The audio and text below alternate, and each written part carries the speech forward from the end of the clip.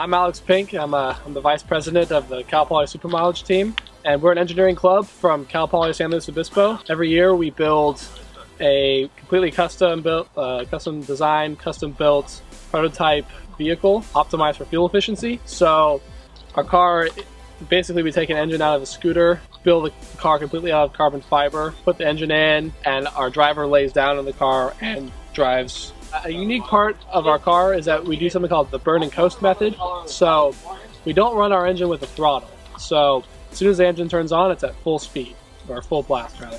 And we burn up until we get to our top speed that we desire, and then we cut the engine off and coast it out. And the reason for doing that is because it actually ends up being more fuel efficient if you do that kind of method. And so we're out here at this test track in order to determine some of the characteristics of that burn and coast method that I just talked about.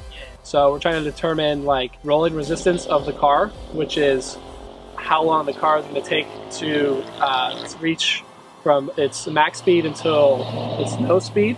The reason for doing that is that that way we can perform different uh, tests on the vehicle uh, and change other parameters in it. So that way we can say, hey, if this is more efficient or not. Another thing that we're testing here is what top speed should we be going at and what what's our low speed should we start burning at again. And uh, this test track is, is phenomenal. It's about a mile long and generally, our in our competition that we go to every year, the track is about a mile long. Every year, we compete in the uh, Shell Eco Marathon. It's an annual event of similar cars like ours. From it's a worldwide competition, but our competition is based in the Americas. So it's teams from Canada, U.S., Mexico, and some also some South American teams like Brazil. And this year, in the past and last year it, it, occurred in Detroit, although in previous years it's been uh, in other places such as Houston. We go around a track into in Detroit, and it's about a mile long or so through the street, streets of downtown Detroit.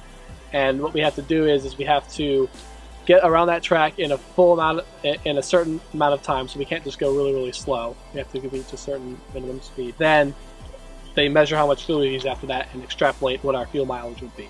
And this test track is perfect because it's about the size of each lap that we do. And so it really allows us to get in and be like, okay, here's how our car would be like at competition.